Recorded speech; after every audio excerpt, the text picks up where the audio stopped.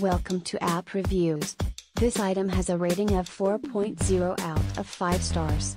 A customer wrote, I rated it a 4 because overall it is fun entertainment but it is a little hard to navigate without a stylus. I would recommend it for the whole family.